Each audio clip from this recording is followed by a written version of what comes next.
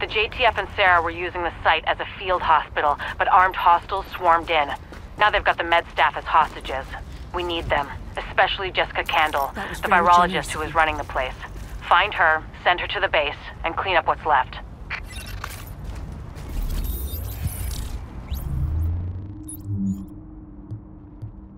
Mm.